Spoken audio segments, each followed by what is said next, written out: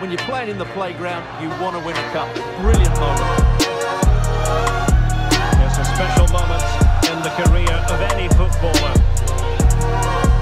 And now for the trophy lift itself. The cup winners.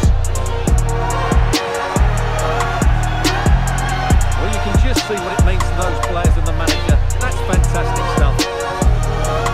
There's always the element of chance in a cup competition, but my goodness, taken